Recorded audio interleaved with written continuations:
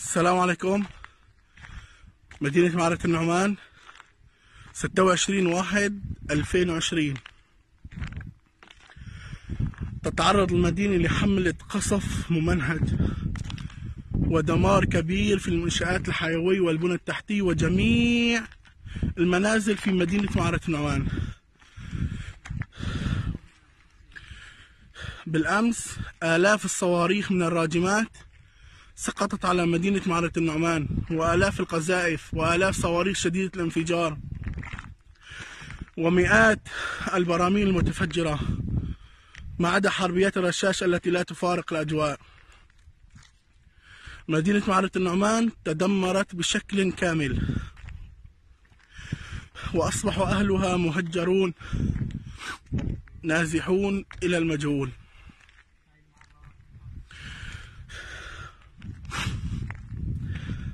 حتى فرق الدفاع المدني أصبحت مهجرة أيضا.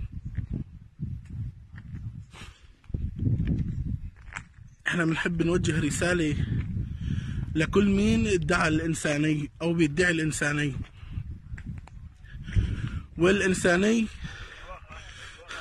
مش شيء اللي عم بصير بالريف الجنوبي. القصف الممنهج اللي صار على المدينة وتهجير آلاف الناس.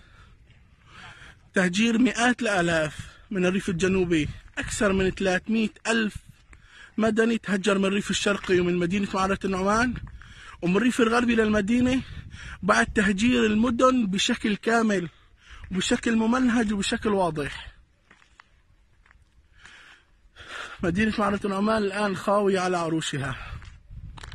مع تقدم قوات النظام باتجاه المدينة. قوات النظام تريد تريد تدمير المدينة وإخراج الناس من المدينة.